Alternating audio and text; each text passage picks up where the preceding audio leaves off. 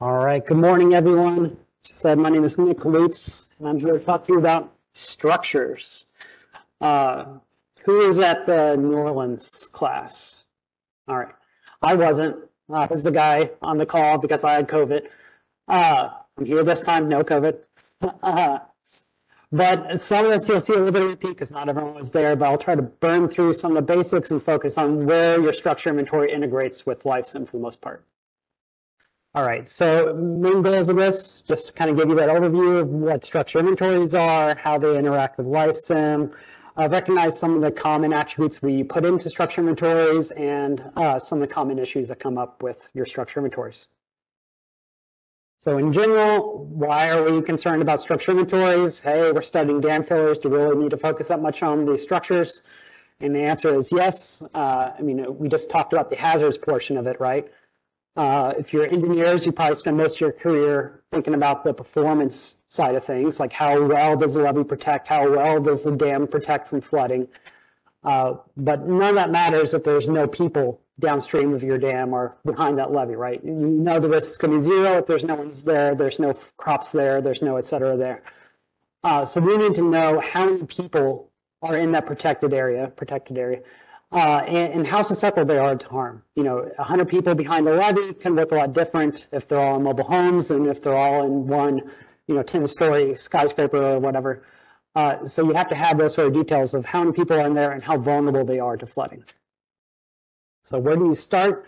Uh, well, you want to have an idea of what area of interest you, you have, right? So you would want some sort of RAS type output to say, hey, here's my study area. Here's the potentially inundated area. So now I know I need to gather information on structures within that polygon.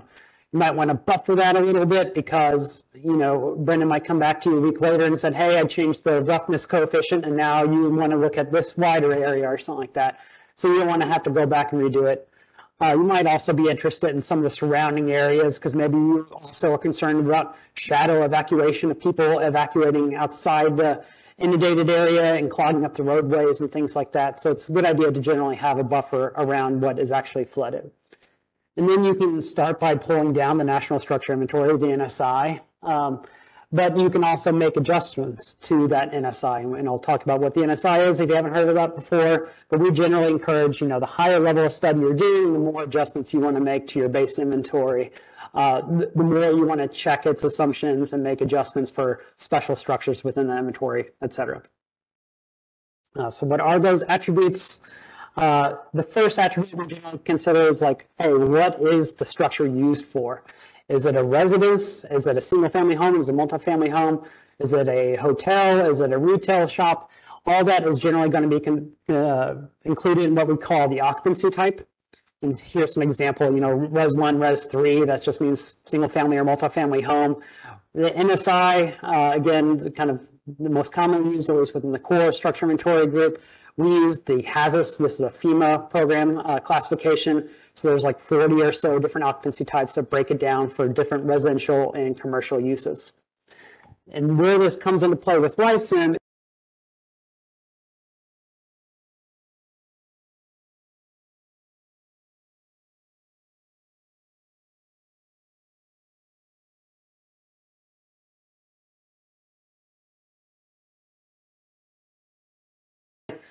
Uh, and then it's going to have other sorts of things. So, you know, what you mentioned earlier that you can play around and LifeSim about your evacuating size, your evacuating group size. That is all done at the occupancy type level. So if you wanted to, you could say, okay, people evacuate from multifamily structures in three person groups, but I'm going to change the school uh, uh evacuating size to be 30 instead of three. Maybe you're assuming they're evacuating in buses or something like that. You know, there is that level of customization you can do, and a lot of that is done at that sort of level. Next is the building type. So if a flood comes through, uh, the consequences of that flood are going to be different. Again, if you're in a wood framed home or engineered home, uh, sorry, uh, engineered structure, potentially, right? You know, your engineered structures, your steel structures are generally going to be able to withstand uh, higher velocities and depths than your wood frame homes. So it's important to have that information embedded in your structure inventory as well. Um, and also that could have some impact on structure valuation as well too. Uh, if you're doing an economic study, you know, your key attribute is going to be the value you assume that structure is worth. Uh, within the Corps, we're usually interested in depreciated replacement values. This would say, okay, the, the picture on the top where this home is starting to fall apart, uh, we want to account for the fact that that's, that's not worth as much as the picture on the bottom, the same house, but now remodeled. Uh, you know, you, you would have less of a loss to the nation if the top picture was flooded than the bottom picture was flooded, right? And so we try to account, uh, to account for that within our depreciated replacement value. Uh, replacement value is usually going to be based off of some sort of dollar per square foot, and then you have a square foot estimate, hopefully in your structure as well, and then you can come up with some sort of cost there. Different ways to do it uh, that might be appropriate depending on the guidance that your agency or customer uses. Uh, foundation type. So this is obviously going to be important because if you're the height of your home or structure is built off the ground, uh, the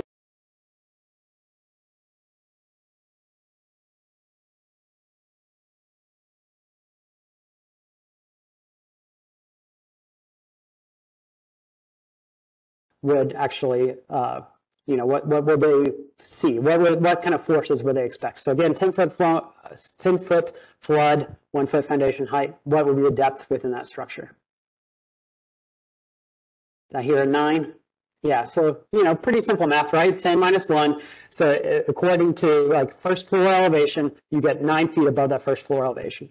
So what if you're in the structure at the top and your home is built eight feet off the ground now what would the people inside, what would they be exposed to? Two, yeah. So 10 minus 8 now, you get two feet of, uh, of depth. So this is going to be, if you're in a coastal area where this type of foundation type, your top right image is more common, this would have a huge impact on your consequences, right? So if you're in a coastal flooding situation, this is when it becomes a lot more important. But still, you know, depending on the depth and velocity in your area, you know, even just moving from an average of one foot to an average of three foot could significantly impact.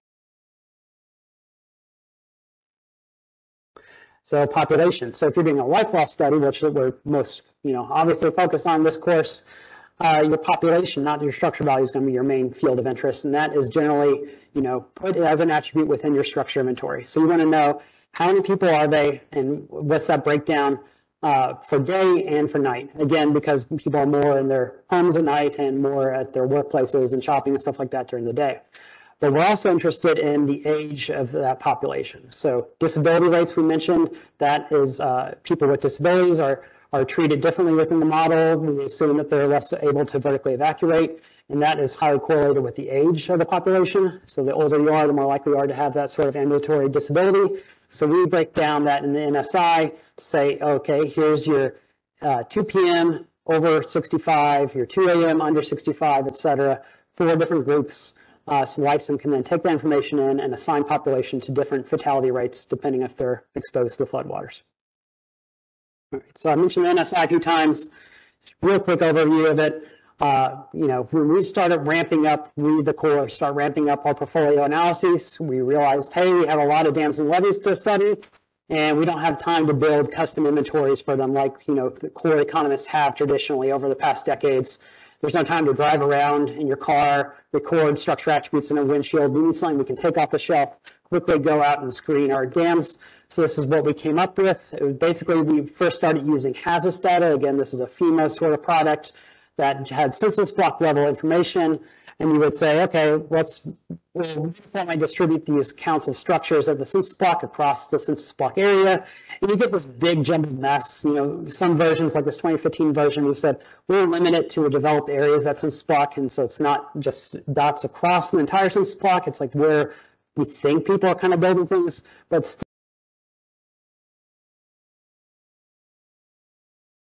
Uh, we got better as we switched over to parcel data, but we couldn't release those this information to those outside the Corps. And we still had some issues like a lot of structures along roadways and things like that because a lot of data comes in geolocated by address and we weren't able to put those directly on top of building footprint.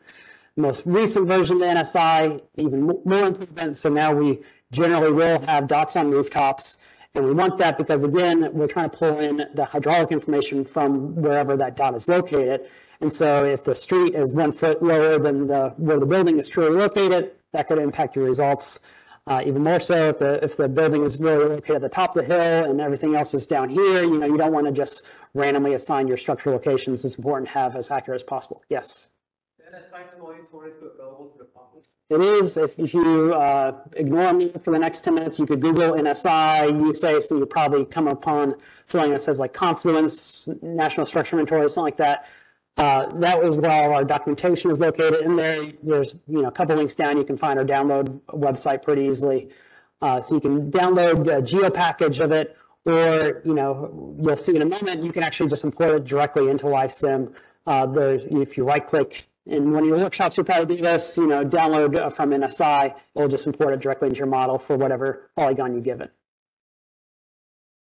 All right, so I'm not really going to explain what this is, but this is how we kind of generate the NSI. We have a lot of different inputs we're trying to bring in and take the best of what's available from all these different input data sets, building footprints, parcel data, uh, particular data sets on where hospitals and nursing homes are located, bring all this information together to try to say, here's where we think people are located at different times of day.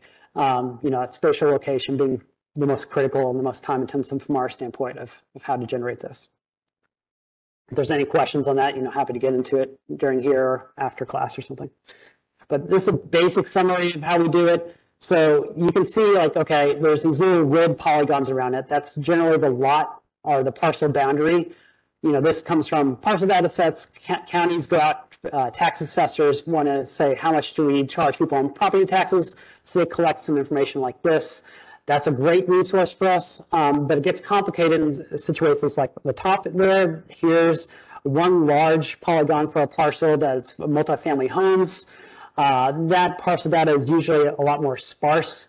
It might not tell you how many buildings are within that parcel. So we'll try to bring in things like building footprints to say, well, we, you know, other people generally uh, took aerial imagery and tried to recognize building footprints. And so now we can count like, okay, the building footprint data suggests there's eight buildings in this parcel. So we'll generate eight dots. You know, well, in this case, the building footprint didn't recognize that image that's circled on the top there. So we didn't generate a structure. So that's the kind of limitation you might see in the NSI.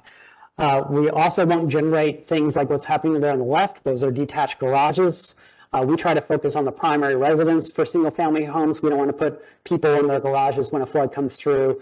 Uh, if you're doing a really intense economic study, that also means we're ignoring the value of those detached garages. Sorry. Uh, we're not entirely, again, going to miss everything that doesn't have building footprint though, because that example on the bottom right shows like, hey, even though there's no building footprint, we still have parcel data suggests the structure is there. So we'll generate a structure regardless. So again, there's a lot of this mixing and matching. There's a lot of what ifs going on in our kind of code to generate all this. Uh, one thing I'll also highlight here, we spend more time focusing on things like I say, these HIFLD data sets, nursing homes, hospitals, again, these are highly vulnerable populations. So some structures we don't try to go down to the you know nth detail of saying, okay, I think I know exactly where this guy's going to be or whatever. But we do try to focus on like, hey, these people are going to have a hard time evacuating, or if they get flooded, they are going to have higher fatality rates than most of the people in the study area. So we try to put a little bit more detail on some of those nursing homes and hospitals and things like that.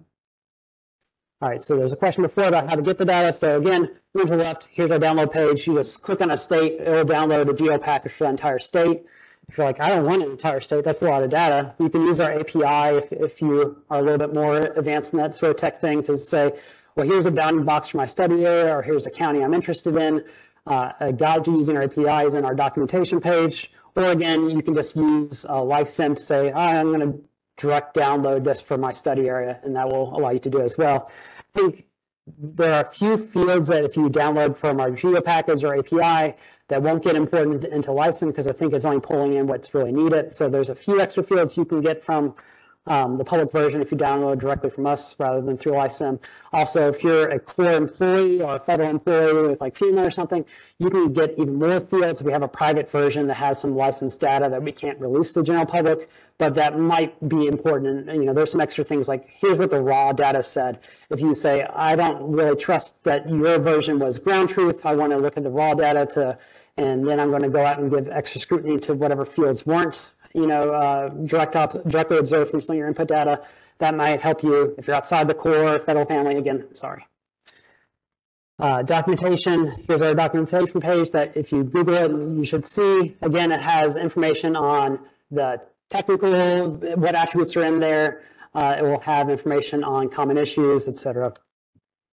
Is that a five minute warning? No. Okay, cool. All right.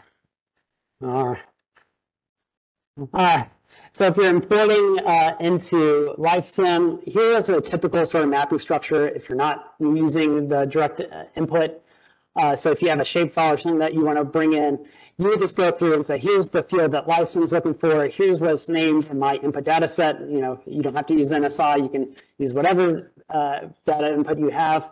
You can go through and either say, here's it maps, or hey, that field wasn't included in my structure inventory. I want you to assume some um, just generic values, such as ground floor height. We don't have that in NSI right now. We just, you know, give you no information basically. So you would check that block, that box and say, ah, just assume nine for all of them. Uh, that works, but if you're, you know, say really nine foot works for a lot of homes and everything, but this room is a lot taller than nine feet, right? So you, you can always uh, go in there and edit if you have some critical structure or something uh, and come up with, you know, more realistic values um, if you want to get into that level of detail. Uh, you also probably get more into this in the workshop, but you can then use attributes that are included in your structure inventory to try to say, here's how to match to stability criteria. Um, so you can use things like saying, there's a building type field in the NSI, uh, match everything that says it's in for masonry to the masonry stability criteria. Stability criteria, I think we'll get into pretty soon. Uh, so occupancy types, I mentioned how important this can be because a lot of things are held at occupancy type level in, in.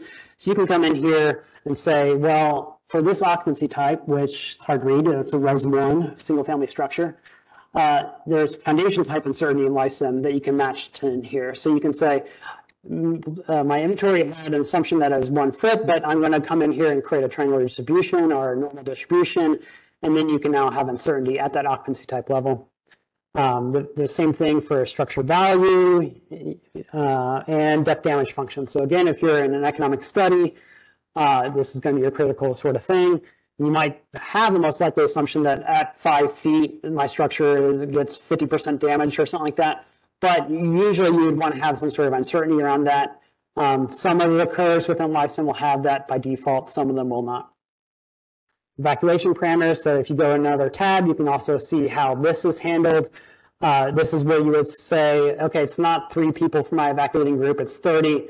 Uh, again, that's all stored at the occupancy type level and submergence as well. So Woody mentioned this in his first lecture, how everything is built, uh, you know, if you're able-bodied person, it's assumed that uh, life loss will be like a foot from the ceiling. You can come in here and adjust the for an occupancy type level um, maybe and things like the ability to evacuate an attic and things like that. If you, if you want to assume, sure, most single family homes have an attic, but not my local grocery store or something like that. Um, I'm going to assume there's no ability to get up to the roof or something if, if you want to.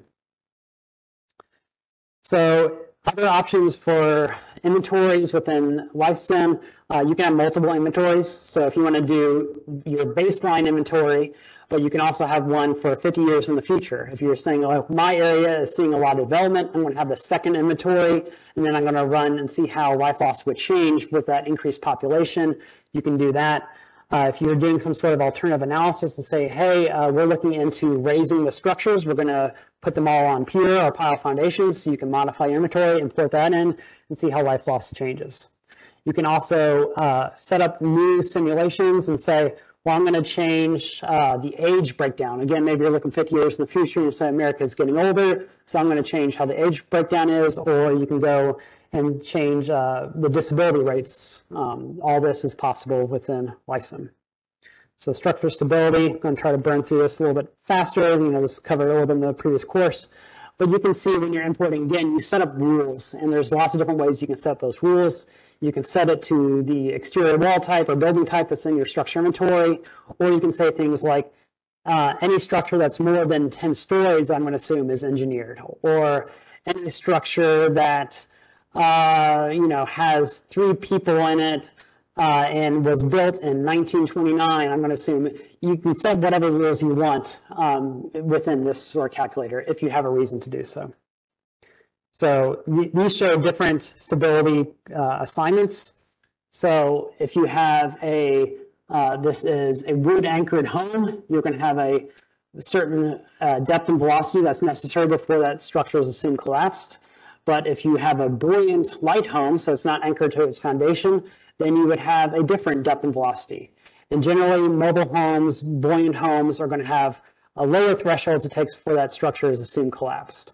So you would want to make sure that this is a critical assumption. If, if you see a lot of depths and velocities within that uncertainty range, that you spend additional time refining this assumption within your inventory of what homes should be mapped to what criteria. So here's an engineered structure, and here is that uh, mobile home manufacturer structure. And you can take your time when you have the, the slides to look through some of this. This is all, again, with generics you can look at in LifeSim itself as you do some of your exercises. So common errors and adjustments. Uh, probably the most devastating thing you can do from your inventory director study is have a whole lot of structure sitting in the river. Uh, this was common in earlier versions of the NSI where we were just kind of randomly distributing structures across your census blocks. Very common in those cases to have structures sitting in the river. You know, that should be pretty intuitive, but it means not only are they going to get very extreme depths and velocities, but they might also start in things that can happen there, right? Because people might not get the appropriate level of warning or uh, time to evacuate if they're placed incorrectly.